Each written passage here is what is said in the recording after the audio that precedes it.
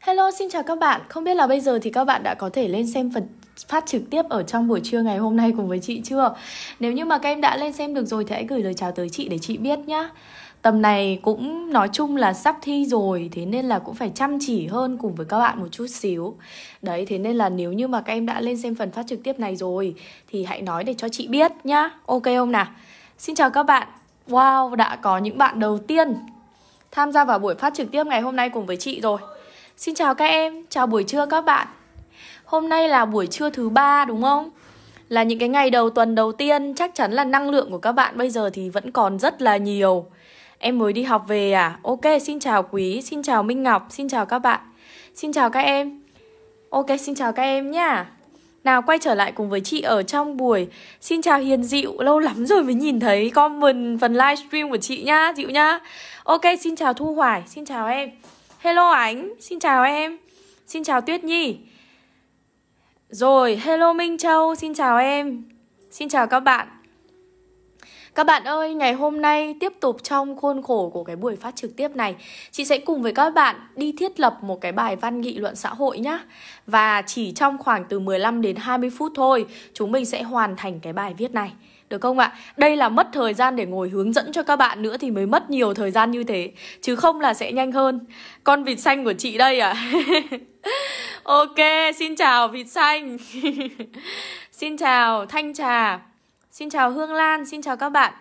Ngày hôm qua thì uh, chị đã có một cái trải nghiệm rất là tuyệt vời cùng với các bạn ở trong khóa học cốt. Và các bạn ấy mới chỉ học được một buổi đầu tiên thôi.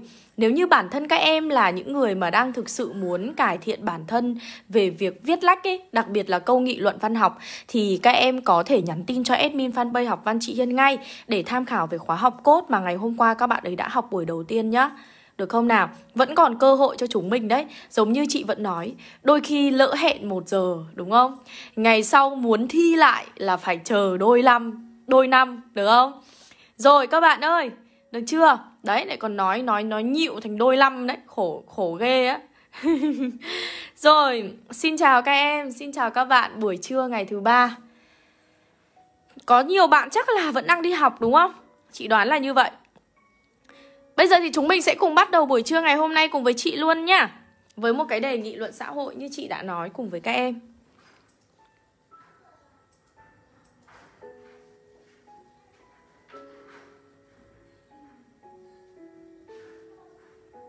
Rồi, xin chào các bạn.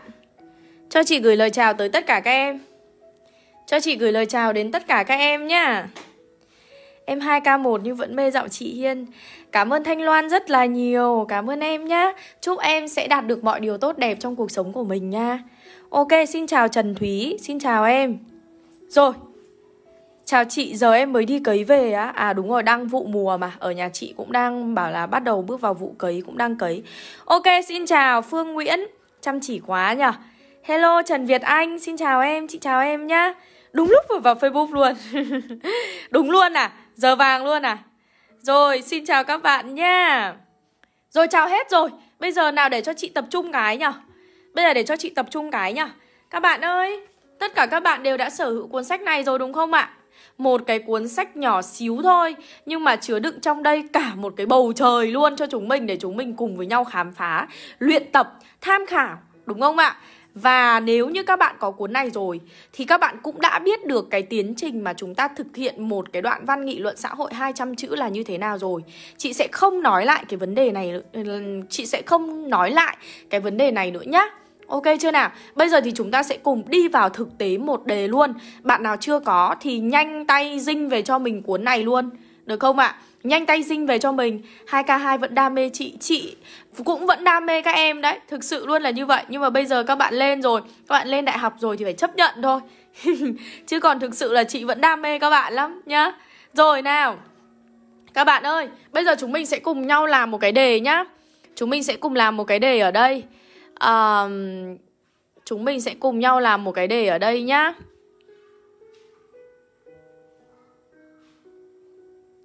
Rồi, chúng mình có một cái đề như sau.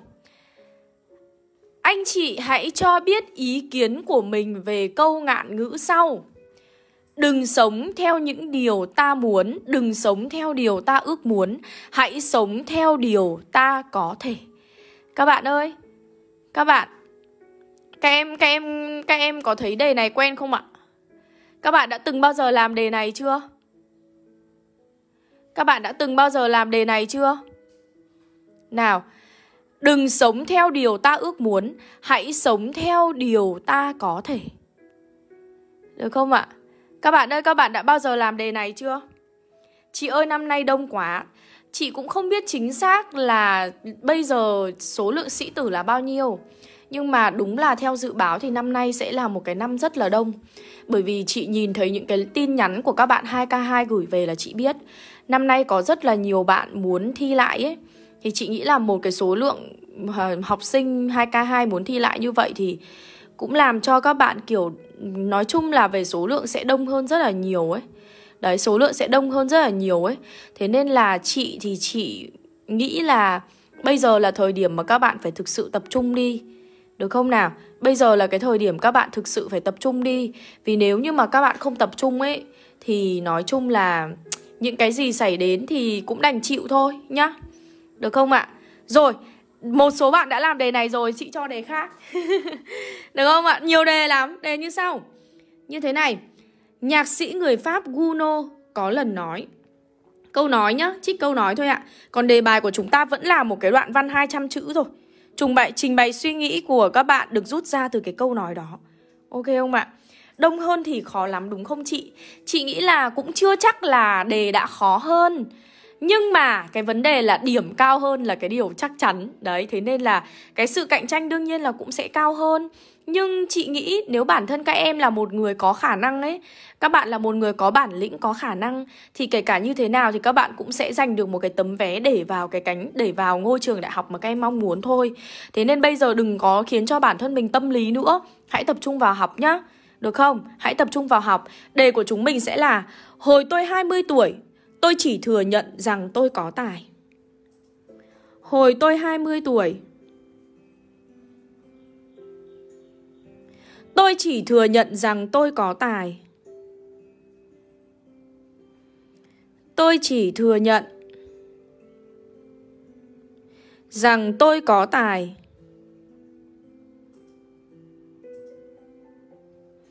Ba mươi tuổi, tôi đã nói tôi và Mô ra. ba mươi tuổi. Tôi đã nói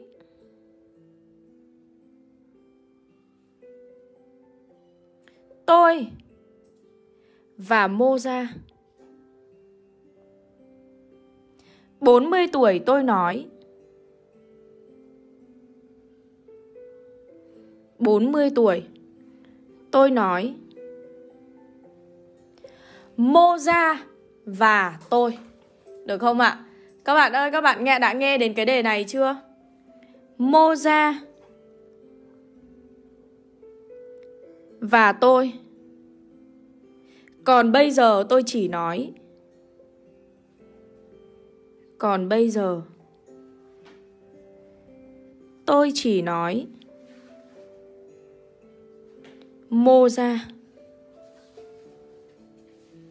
Được không bạn?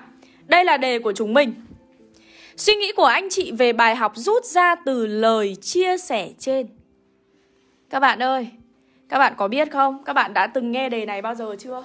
Em đọc đề này rồi may quá chưa làm À em được xem qua đề này rồi ạ à. Thế thì bây giờ nhá cái đầu tiên ấy, Khi mà chị muốn nói cùng với các bạn Và làm cùng với các bạn Thì chị luôn luôn bảo với các bạn rằng là Chúng ta hãy bám sát vào đề bài xem đề bài yêu cầu gì. Thì đề bài của chúng ta là suy nghĩ của anh chị về bài học được rút ra từ lời chia sẻ trên. Suy nghĩ của anh chị. Suy nghĩ của anh chị. Về bài học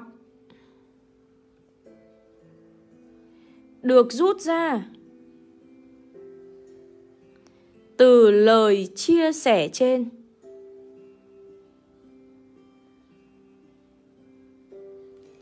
Ok chưa ạ? Đây là đề của chúng mình. Các bạn đều đã nghe rồi. Vậy thì bây giờ các bạn giúp ra giúp cho chị xem cái bài học được rút ra từ cái câu chia sẻ này là gì nào. Nào giúp cho chị. Nào, Giúp cho chị nào. Giúp cho chị nào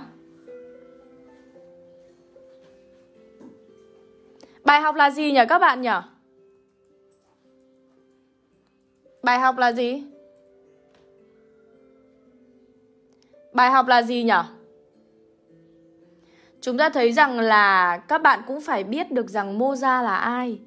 Mozart là một nhà soạn nhạc người Đức. Ông là một trong những nhà soạn nhạc vô cùng nổi tiếng và có nhiều ảnh hưởng nhất trong thể loại cổ điển châu Âu. Được không ạ? Ông ấy đã để lại rất nhiều những cái tác phẩm được xem là đỉnh cao trong các thể loại nhạc về piano, nhạc thính phòng, nhạc giao hưởng, nhạc tôn giáo, opera. Được không ạ? Chúng ta thấy rằng là có thể thấy rằng là đây là một trong những nhà soạn nhạc thiên tài. Đúng không? Và đúng rồi, chính xác. Chính xác. Các bạn ở đây đều đã rút ra được cho chị cái bài học. Đó chính là bài học về sự khiêm tốn và sự khiêm tốn này thì được rút ra trong cái quá trình gì ạ? Đó là cả một cái quãng đời trưởng thành của nhạc sĩ Guno Phải không ạ? Đó là cả một cái quá trình trong cái quãng đời trưởng thành của nhạc sĩ Guno Đúng chưa nào? Và chúng ta thấy rằng là đúng, là quả thực là chúng ta thấy giống như là tiến trình của một cây lúa ấy.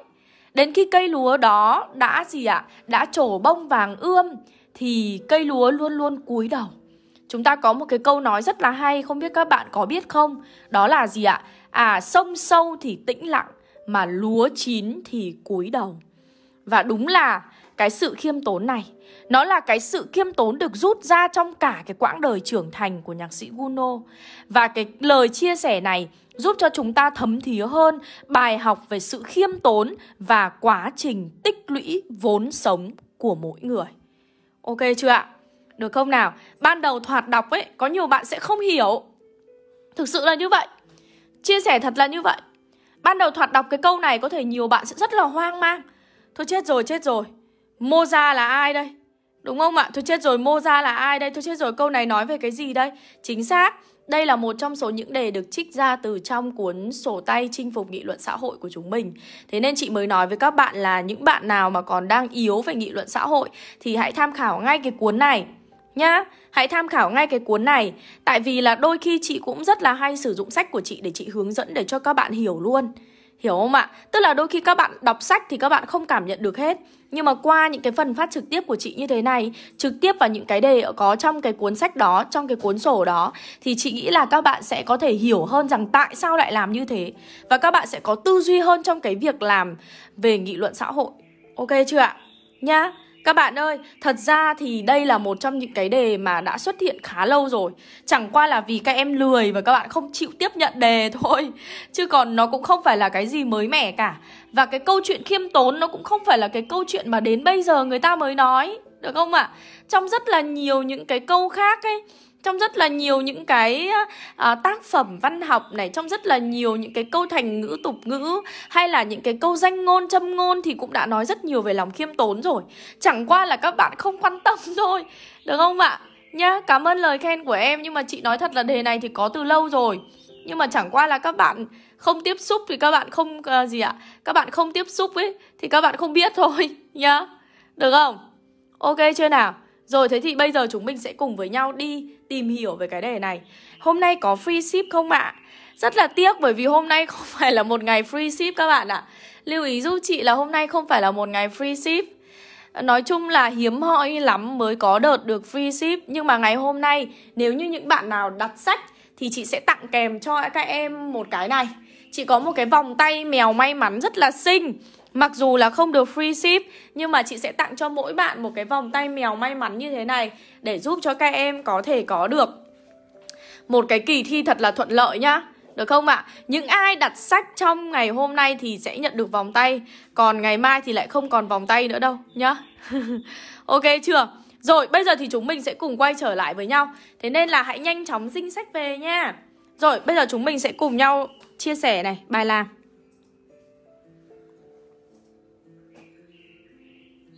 Ok chưa ạ? đối với một cái trích dẫn dài như thế này ấy thì chẳng có cách nào ngoài cái việc là không có cách nào ngoài cái việc chúng ta dẫn vào trực tiếp thôi. Các bạn ơi, đừng lan man và dài dòng nhá. Không có cách nào khác. Ok chưa? Nhá, không có cách nào khác đâu, chúng ta đi trực tiếp vào vấn đề luôn. Ví dụ như ở trong sách chúng ta có một cái lời dẫn vào rất ngắn gọn như thế này. Những bài học trong cuộc sống luôn là cơ hội để con người có thể trưởng thành. Và lời chia sẻ của nhạc sĩ Pháp Guno chính là một bài học đắt giá như thế. Hồi 20 tuổi, tôi chỉ thừa nhận rằng tôi có tài. 30 tuổi, tôi đã nói tôi và Mô Gia. 40 tuổi tôi nói Mô Gia và tôi, còn bây giờ tôi chỉ nói Mô Gia. Quá trình đi từ cái tôi ấy rồi dần dần thừa nhận một Mô Gia là cả quãng đời trưởng thành của nhạc sĩ Guno. Câu chuyện giúp cho chúng ta thấm thía hơn về bài học của sự khiêm tốn và quá trình tích lũy vốn sống, vốn kinh nghiệm của mỗi con người trong cuộc đời. Các bạn thấy không ạ? Ở trong bài này nhá, chị phải thừa nhận là cái trích dẫn nó quá dài. Thế nên nếu như bây giờ các bạn bị tham lam ở trong cái phần giải thích ý, thì bài của các bạn sẽ fail ai? Tức là các em sẽ viết thành một cái bài văn luôn, kiểu gì cũng 500 600 chữ ngay. Chị nói thật đấy. Nên là càng đề bài dài thì chúng ta lại càng phải ngắn gọn và khúc chiết trong từng câu chữ. Đây là một trong số những cái lời khuyên cho các bạn. Ok chưa ạ? Thế vừa rồi chị đã làm cùng với các bạn rồi đấy Đó là chị viết mở đoạn Chỉ dùng đúng một câu dẫn dắt thôi ạ Đúng không? Chỉ đúng, dùng đúng một câu dẫn dắt thôi Sau đó dẫn luôn vào trích dẫn Và ở trích dẫn này Tôi không ngồi để tôi giải thích từng tí từng tí một Đúng không ạ? Mà tôi đi luôn vào vấn đề, Tức là tôi rút ra cái bài học luôn Được không ạ? Trong phần giải thích này, tôi không đi sâu vào từng từ khóa nữa Bởi vì nếu như đi sâu vào từng từ khóa thì tôi sẽ cực kỳ tốn dung lượng mà nó cũng không giải quyết vấn đề gì Tôi đi sâu luôn vào vấn đề, Tôi rút ra cái bài học luôn Đúng không ạ? Và bài học của tôi, đó chính là cái gì đấy? Đó là bài học về sự khiêm tốn Bài học về sự khiêm tốn Và quá trình tích lũy vốn sống Quá trình tích lũy vốn sống. Được không ạ? Quá trình tích lũy vốn sống, vốn kinh nghiệm của mỗi người. Được không ạ? Kinh nghiệm của mỗi người. Ok chưa nào? Kinh nghiệm của mỗi người. Rút ra cái đó luôn. Được không ạ? Rút ra cái đó luôn, hết sức lưu ý nhá. Tại sao mà chị lại cứ phải khắt khe với các bạn ở trong cái phần dung lượng để làm gì? Sao không để cho các em thỏa sức viết đi? Đó là một trong những cái lý do mà luôn chúng ta kiểu như là luôn luôn kiểu nuông chiều bản thân mình quá ấy. Và chính vì nuông chiều bản thân mình như vậy thì nên mới gặp cái vấn đề là viết một cái đoạn văn nghị luận xã hội mà viết cả hơn một mặt. Rồi thì viết cả hai mặt sau đó vẫn cảm thấy rất tự hào vỗ ngực vì mình ôi tại sao mình viết được một cái đoạn văn nó khủng khiếp đến như thế mà không biết rằng là cái dung lượng của mình quá đà gấp 2 gấp 3 lần người ta cho phép. Đúng không ạ? Nhìn cái là ra ngay cái lỗi chưa được, cái điểm chưa được thế mà vẫn còn ung dung và tự hào. Hãy đừng nuông chiều bản thân mình nữa các bạn ạ. Hãy để cho bản thân mình phải thực sự tập trung vào. Hãy viết đi. Nhưng mà sau khi viết xong nhìn lại cái bài dài lê thê của mình Gạch đi những chữ không cần thiết Bỏ đi những câu không cần thiết Đọc lại nhiều lần Một lần chưa ra thì hai lần Hai lần chưa ra thì ba lần Ba lần chưa ra thì năm lần Sau đó rút gọn lại bài của mình lại Để cho từng câu từng chữ nó cô đọng lại Được không ạ? À? Nhá, lưu ý đừng có ung dung tự đắc về bất cứ điều gì cả Ok chưa nào? Được không ạ? À? Được không các bạn? Hết sức lưu ý giúp chị Rồi Thế thì chúng ta đây, chúng ta nêu ra vấn đề xong. Bây giờ chúng ta bắt đầu phân tích này. Bắt đầu phân tích và bàn luận. Bắt đầu phân tích và bàn luận. Thật ra ở trong cái phần phân tích và bàn luận này Chúng ta sẽ đi trả lời cho câu hỏi là À, bài học bài học về cái sự khiêm tốn này có ý nghĩa như thế nào đối với mỗi con người? Để làm cho cái bài viết của chúng ta sâu sắc hơn. Được không ạ? À? Chúng ta phải xác định được luôn là trong từng phần chúng ta viết cái gì. Được không ạ? À? Hãy lưu ý giúp chị nhá. Là ở trong cái này chúng ta sẽ làm rõ cái vấn đề là Vậy thì cái sự khiêm tốn có ý nghĩa như thế nào trong sự trưởng thành của mỗi người Ví dụ, tuổi 20, cái tuổi trẻ trung và sung sức nhất bạn sẽ gặp một phiên bản nhiệt huyết và cũng là phiên bản nông nổi nhất của bản thân mình. Dòng đời trôi chảy, chẳng có ai sống mãi trên đời mà không có cho mình ít nhiều kinh nghiệm sống. Trong đó, bài học về sự khiêm tốn chắc hẳn ai cũng luôn ghi nhớ. Sự từng trải bao năm tuổi trẻ giúp ta hiểu ra ba người đi cùng nhau, ắt có một người là thầy của ta. Đây là câu trích dẫn rất nổi tiếng của khổng tử. Cái tôi cá nhân ấy không phải lúc nào cũng độc tôn Bất kỳ người nào cũng có cái hay để ta học hỏi Chính vì vậy, phải không ngừng trau dồi và liên tục cố gắng Bởi đây sẽ là hành trang để bạn có thể bước đến con đường thành công chấm xong phần phân tích bàn luận. Tức là nói ra vai trò của sự khiêm tốn. Vậy thì gì ạ? Vai trò của sự khiêm tốn là gì ạ? Là cái việc đó là một trong những cái đức tính để đưa chúng ta đến với sự thành công. Đúng chưa nào? Và cái thứ hai, chúng ta, cái sự khiêm tốn của chúng ta là cái bài học. Chúng ta tích lũy mỗi ngày. Chúng ta tích lũy trên cái chặng đường chúng ta trưởng thành Và hãy luôn luôn ghi nhớ một điều rằng là Sẽ luôn có những người thầy trong cuộc đời chúng ta Và hãy gì ạ? À hãy luôn luôn thể hiện cái thái độ khiêm tốn trước tất cả mọi người Và hãy học hỏi từ những cái điều đó Bằng cái thái độ khiêm tốn của bạn Ok không ạ? Sau khi phân tích và bàn luận xong Các bạn sẽ đưa ra dẫn chứng Thật ra ở trong phần vẫn dẫn chứng nói về cái quá trình trưởng thành, tích lũy kinh nghiệm hay là về sự khiêm tốn, các bạn có quá nhiều lựa chọn. Nếu là em, các em, các bạn sẽ lựa chọn dẫn chứng nào? Các bạn sẽ lựa chọn gương mặt tiêu biểu nào? Câu chuyện về ai để khiến cho bạn đọc sẽ cảm thấy tâm đắc với bài viết của các bạn? Các bạn sẽ chọn ai ạ? Chị muốn lắng nghe các bạn một chút. Các em muốn chọn ai? Các bạn muốn chọn ai? Các bạn sẽ đưa vào ai? Bài học về sự khiêm tốn khiến cho tôi nhớ về câu chuyện của... Nào, các bạn ơi, các bạn sẽ chọn ai? Bài học về sự khiêm tốn. Bài học về sự khiêm tốn. Khiến cho tôi nhớ về... À, bác Hồ, chính xác. Rất xin lỗi các bạn nhé. Đấy, Chị à, hắt xì hơi hai lần luôn Bác Hồ đúng không? Rồi, khiến cho tôi nhớ về Câu chuyện Của Đấy, được không ạ? Ví dụ, khiến cho tôi nhớ về câu chuyện của lãnh tụ vĩ đại Chủ tịch Hồ Chí Minh. Đúng rồi, đây là một trong những cái dẫn chứng cực kỳ là là đúng luôn và rất là sát luôn. Thực sự là như vậy. Các bạn hoàn toàn có thể đưa ra và chị và chị um, nói chung là chị rất ủng hộ cái dẫn chứng này của các bạn. Ok không nào? Rồi, có bạn thì lựa chọn hoa hậu HNIE cũng được. Ok không ạ? Nhưng cái quan trọng nhất như chị đã nói với các em là gì?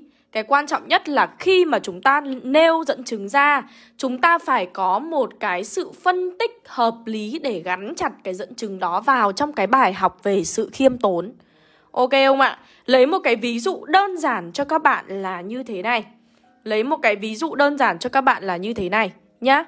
Darwin là một nhà bác học nổi tiếng Khi về già vẫn chăm chỉ đọc sách trau dồi kiến thức con gái ông thấy lạ, thắc mắc tại sao cha đã lớn tuổi mà vẫn chăm học tập, chăm chỉ học tập.